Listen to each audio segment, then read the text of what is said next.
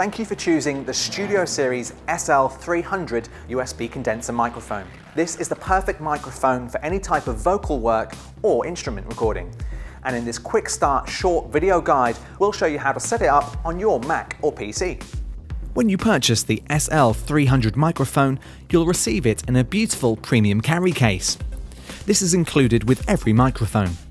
Open up the box and you'll see the Studio Series accessories. First up is the high quality shock mount. A shock mount is a great device which prevents knocks and vibrations getting through to your microphone. It also enables you to connect your microphone easily to any microphone stand. Secondly, you get the studio length USB cable. This is a high quality USB cable designed to offer the optimal quality for delivering audio from the microphone to your computer. And last but not least is the SL300 USB microphone, your new broadcast grade USB studio condenser microphone. It's beautifully simple and features one USB port. So let's go through the SL300 switches. The low cut switch simply takes out the low end frequency from your microphone. This is usually used with instruments, but of course can be used with vocals too, as it can help reduce rumbles and take out low ends. The pad switch reduces the microphone's output by minus 10 decibels. So if you're recording certain instruments or louder sounds, you may want to make use of this switch.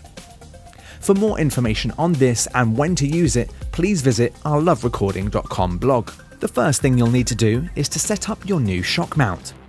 Make sure that all of the elasticated shock bands are joined at their connectors. This prevents any vibrations transferring through to your microphone. If you have a thread adapter inside your shock mount, take out the thread adapter and connect to your microphone stand.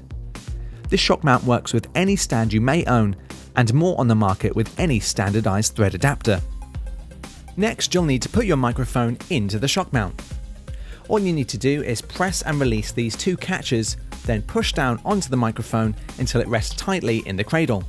The microphone wants to sit in this position. Next, you'll want to connect the USB cable to your microphone. Simply take the square end of the cable and connect this end to your microphone. And then connect the regular sized end of the cable to any USB port on your Mac or PC. Once connected, the handy blue light should come on to show you that the microphone is working and drawing enough power. Next, we'll need to make sure that your microphone is selected as the input device on your computer. First, go to your Mac's System Preferences in the top left of your screen. Click the Apple icon, then System Preferences. In the second row, you'll see the Sound icon. Click this, and once in the Preferences, go over to the Input tab at the bottom of this list, you'll see your new SL microphone. Select this and then make sure the input level is set around 85%. That's all you need to do to set up your new microphone. Next, you'll need to make sure your new microphone is set up as the default input microphone in your recording program of choice. We're using GarageBand, but most software will work in the same way. Click the program's name in the top left corner and go down to Preferences. Next, go to the audio input and make sure the new microphone is selected. And that's it, it's that easy. Happy recording.